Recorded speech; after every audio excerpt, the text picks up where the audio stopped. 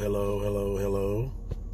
Um, this is Brother West coming to you um, this um, Saturday, this Saturday morning, and um, uh, there's a there's something that I wanted to, um, I guess, uh, explain to you, teach you, get you to see um, uh, the form of of of this particular thing, and it's it is uh, the thing called anger. Anger. The scripture says to be angry, but sin not. Don't let the sun go down on your wrath. Don't let the sun go down on your wrath. The thing about anger now, most people think anger is um, anger is um, an emotion. Most people think that, right? You know, you get angry. I'm emotional. Angry. No, anger is not an emotion. Anger is not an emotion at all. But actually, anger is created. Did you not know that? When a person becomes ang- angry, when they eventually uh, express themselves in a form of anger, when they release themselves, uh, frustration is like a outburst, like uh, a verbal outburst. Anger is anger comes from something. Anger comes from something. Anger is created, and what happens? Anger is created from something, a a something that's been unresolved in your life. Anger is formed from something that's been unresolved or something that you hadn't worked through. Maybe some relationship, maybe something mentally, or maybe something physically, or maybe something that happened where uh, you were able to uh, get the understanding on why certain things happen, or why guys act a certain way, or look or talk to you a certain way, or or, or, or, or whatever it is. But whatever it is, it's unanswered questions. Unanswered questions that form anger. And in those unanswered questions, uh, it forms anger, it forms frustration. It's like it's like building a house. Anger is like building a house because anger in itself is not an emotion, but anger is energy. It's energy, energy, energy. And where do you get energy? You get energy from friction. You get energy from friction, but also in energy, if you notice, uh, with energy, the, more uh, with energy, the more uh, uh something hot becomes more warm when there's energy. Like, say for example, um, if um, uh, energy, anger is like, say for example, if I turn my shower on in my bathroom but close the door, but then when I come back and open up the door, then all the the the, the stuff from the shower, all the the stuff that's formed from the shower, uh, comes out, the fog you know, the, the mist, the dew, or whatever it is, you know, that comes from the shower, you know. Um, and so anger is like that. Anger is like that. It's, it's like those particles. It's like the, the mist. It's, it's like that, that comes from something. And, and oftentimes it may be bitterness. It might be hurt, might be molested, uh, or people taking advantage of you. And uh, whatever, whatever it is, it form, it, built, it builds a certain house it's like building blocks. When you're angry, it's like building blocks. And getting taller and taller, taller and taller. And so anger is created. And even the scripture says that a man treasure, uh, a man heart is where his treasure is at. And anger is formed from something that's connected to your heart. Oh yes, anger is created and it's formed from something that was connected to your heart. Because if it wasn't connected to your heart, why would you be angry? Because anger, anger, anger comes from being frustrated, being upset.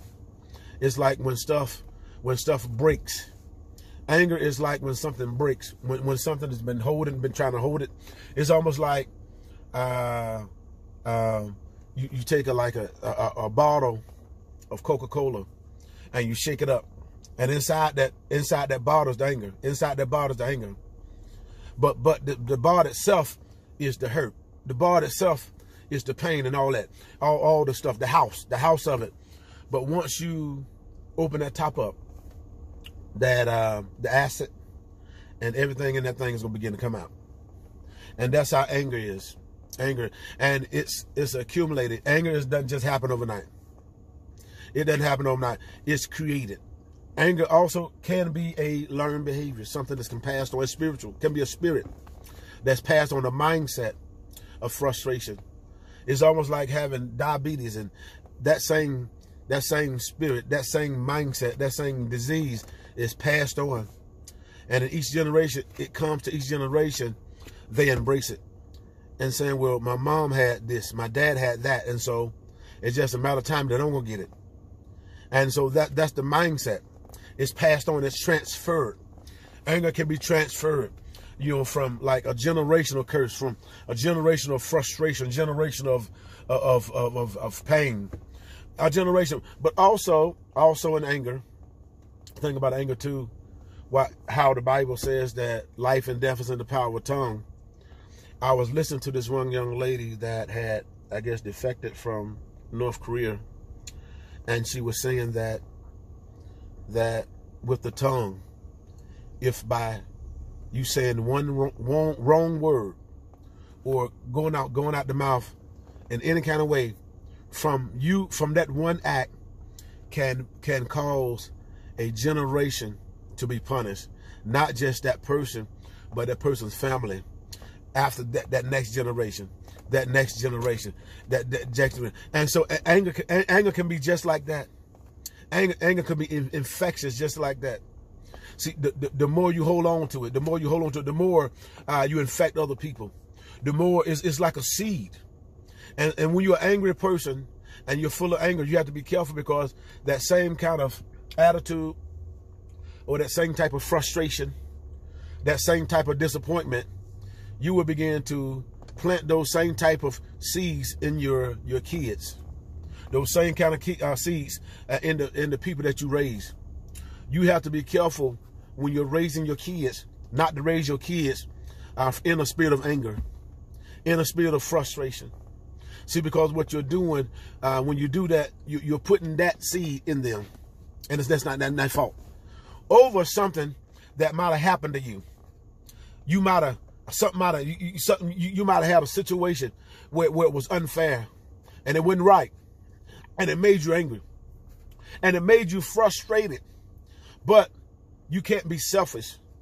You cannot pass that frustration on to, to your child, to people around you you need to deal with that thing. You need to deal with that anger because if not, it's going to be a domino effect because not only you are eh, eh, you are infected, you're infectious, which means that you're going to affect everyone around you. The scripture says to follow peace with all men and holiness without which shall no man see the Lord, uh, unless a root of bitterness springing up in you, whereby many be defiled. And so anger can be infectious. Also like jealousy.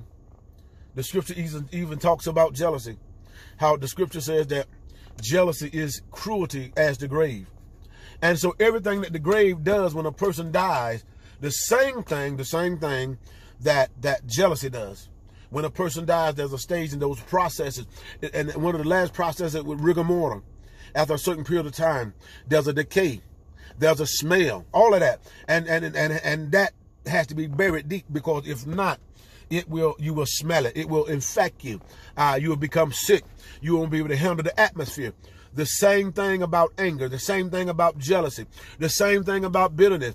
If you're not careful, if you're not careful, if you don't deal with it, if you don't deal with that smell, because it has a smell, it has a smell. If you don't deal with that smell, if you don't deal with that smell, you're going to become infectious. Not only infectious, but you're going to infect others. If you don't deal with that smell, what's going to happen? It's going to run things away from you. Wherein things would come to you, but by you holding on to it, it's going to cause things that wanted to come to you to run away from you because it cannot get past the smell.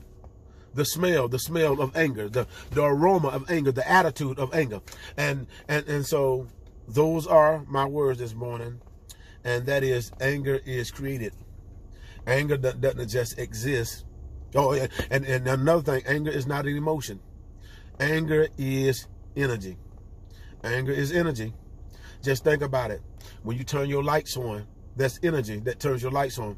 And, and the longer those lights are on, what's going to happen, that light bulb is going to become hot. You know that energy, energy brings heat. Energy brings heat. And when you're angry, when you're upset, you get hot, you get upset. because you you you, you infuse energy, anger. But the scripture says, don't let the sun go down. And so in other words, don't don't swell up, don't get too hot. Don't don't get so hot that you become sweating, sweating angry. Where where then when the scripture said, don't let the sun go down on your wrath, when the sun has went down on your wrath, you already done built your house. You already done created it. You already done created what you want to do. You already done created what you want to say. Even even the scripture says that even when it comes to lust and adultery, it's the scripture says that when a man looks upon a woman, as a, looks upon a woman, he's already committed adultery in his heart. When you look upon a certain way, when, when you linger and you and you look and you fantasize and your imagination. And see what it is your imagination will cause will build it will create. See the imagination and when you're thinking the imagination is like the, the brick it's like the mortar.